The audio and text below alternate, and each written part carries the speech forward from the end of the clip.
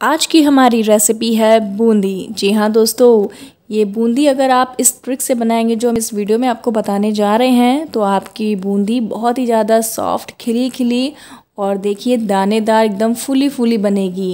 जी हाँ दोस्तों, मेरा नाम है मेघा और आप देख रहे हैं सुमेरो किचन। चलिए स्टार्ट करते हैं।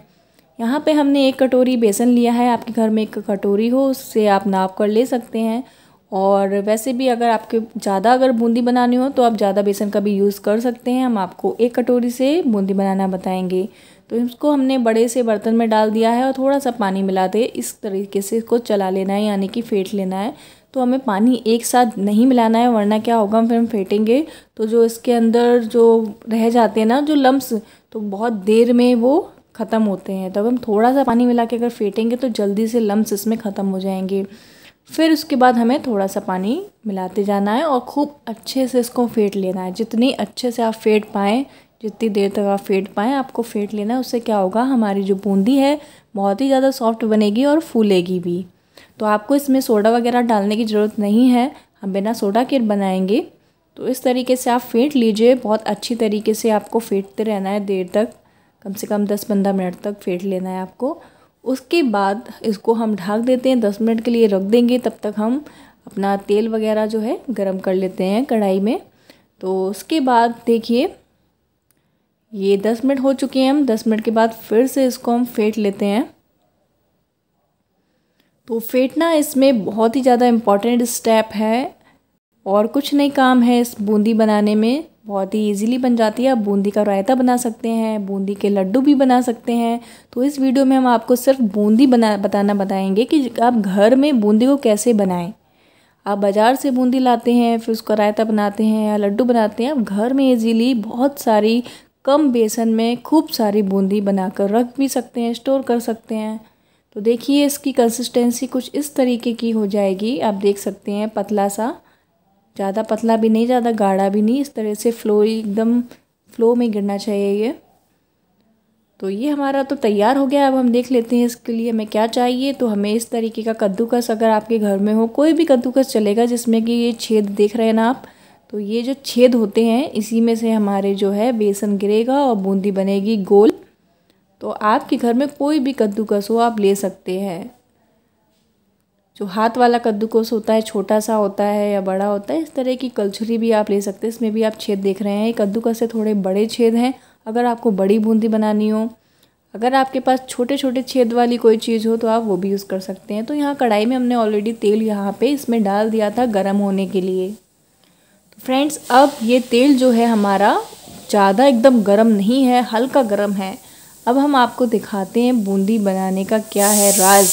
तो फ्रेंड्स देखिए इस तरीके से आपको चम्मच से एक हाथ से कलछुरी पकड़नी है, दूसरी हाथ से आपको एक चम्मच से ये इस तरह से बेसन का जो घोल है, गिराना है तेल में। और तेल जो है आपको हम बताएँ, यहाँ पर हमने बहुत गर्म नहीं रखा है और बहुत ज़्यादा एकदम ठंडा भी नहीं है मतलब हल्का सा ठंडा है। तो आप देख सकते हैं फ़र्क, गरम तेल का फ़र्क और ठंडे तेल का फ़र्क। तो देखिए, अपने आप ही ये गिर गई है। गिरने का स्टेप तो आपको पता लग गया है कि अपने आप ही ये गिर जाती है अलग अलग हो जाती है, इस तरीके से आपकी अलग हो जाएगी।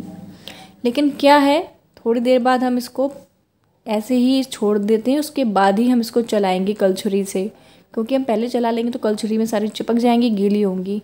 अब हम दिखाएँगे आपको कितनी ये फूली नहीं है, एकदम पिचकी हुई है। तो ये ऐसा क्यों है कि हमारा जो तेल था वो ज़्यादा गर्म नहीं था? गर्म था, लेकिन ज़्यादा गर्म नहीं था, ठंडा ही टाइप का था। तो ये फ़र्क है। अब देखिए, हमने तेल को कर लिया एकदम ज़्यादा गर्म।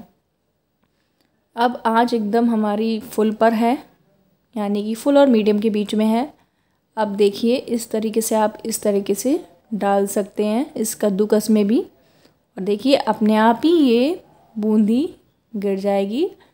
हल्का सा झटक भी सकते हैं आप। अब देखिए, हमने इसको अभी छूना नहीं है बिल्कुल भी। इसको ऐसे ही पड़े रहने देना है, थोड़ी देर बाद ये अपने आप फूल जाएँगे और सिक जाएँगे, उसके बाद हम इसको कलछुरी से चलाएँगे। पहले चला लिया कलछुरी से तो साड़ी ये बिगड़ जाएँगी। अब आप देख सकते हैं, बूंदी कितनी फूली है। इसका राज क्या है? तेल जो था, गरम था अब की बार।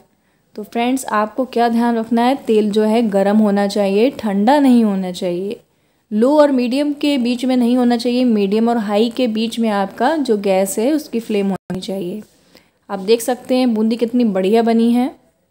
इस तरीके से हम बड़ी वाली कलछुरी से निकाल लेते हैं सारी बूंदी को और इस बूंदी को आप स्टोर करके रख सकते हैं।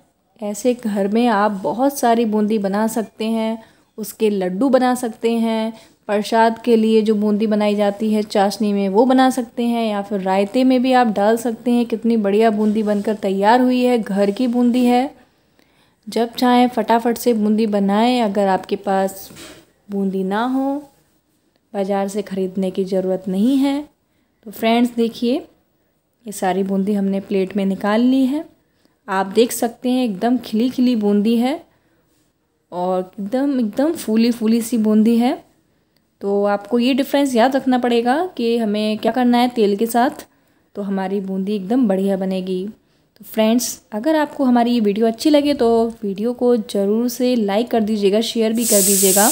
और अगर ये वीडियो अच्छा भी लगे तो आप हमारे चैनल को सब्सक्राइब भी कर सकते हैं, जिससे कि हम ऐसे ही वीडियो लाते रहेंगे। और हाँ अगर आपने सब्सक्राइब नहीं किया है, आपको पता नहीं है तो इस वीडियो के नीचे ये सब्सक्राइब पे क्लिक कर दें और साइड में बेल आइकन को भी प्रेस कर दें, जिससे आपको हमारे सारे आने वाले वीडियो के नोटिफिकेशंस मिलते रहेंगे।